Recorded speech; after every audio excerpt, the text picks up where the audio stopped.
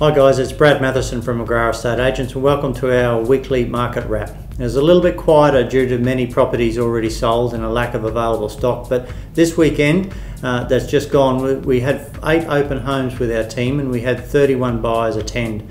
With some really committed buyers attending, we also had another eight private viewings over the weekend. We had offers on 37 Afton Way in Mount Louisa with Brett and myself, and during the past week our team sold another three properties with uh, 25 Ryan Street selling for 966 to a lovely family home who moved up from Newcastle.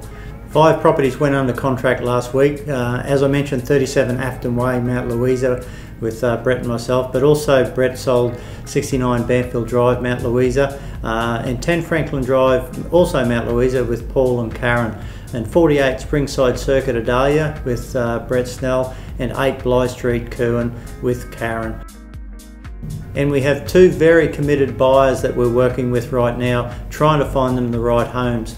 Uh, one buyer who's a school teacher who's relocated from Victoria with his wife and child and they have parents that visit regularly so they want a really good sized four bedroom home in Mount Louisa and they're looking to uh, spend over $600,000 for the right property.